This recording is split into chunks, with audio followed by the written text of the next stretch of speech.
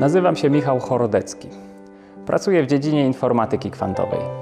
Dziedzinie rozpiętej pomiędzy zastosowaniami praktycznymi, takimi jak kwantowe szyfrowanie czy kwantowy komputer, a podstawami fizyki, gdzie staramy się zrozumieć mechanikę kwantową.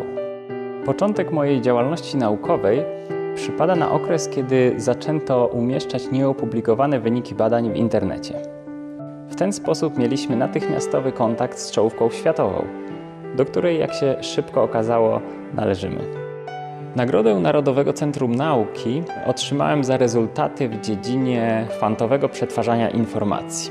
Kwantowe splątanie jest zasobem, który może służyć m.in. do szyfrowania informacji i który wymaga oczyszczenia. My zaś odkryliśmy złośliwy typ splątania, którego nie można oczyścić. Dzięki kilku dużym projektom zgromadziliśmy fundusze, które pozwoliły nam zatrudnić znakomitych młodych naukowców i zapewnić im swobodny kontakt z zagranicznymi ośrodkami. Czuję się współtwórcą ośrodka, który istnieje w świadomości społeczności informatyki kwantowej, dotrzymuje kroku, a nawet wyznacza trendy.